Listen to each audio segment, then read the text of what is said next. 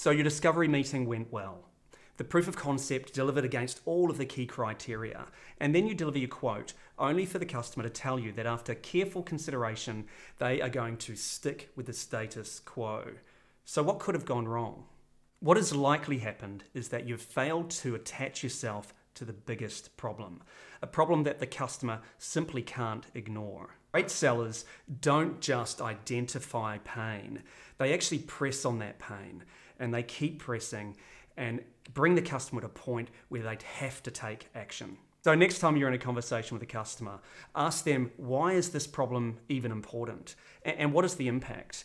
What is the impact on them, their team, and the business if that problem doesn't get solved?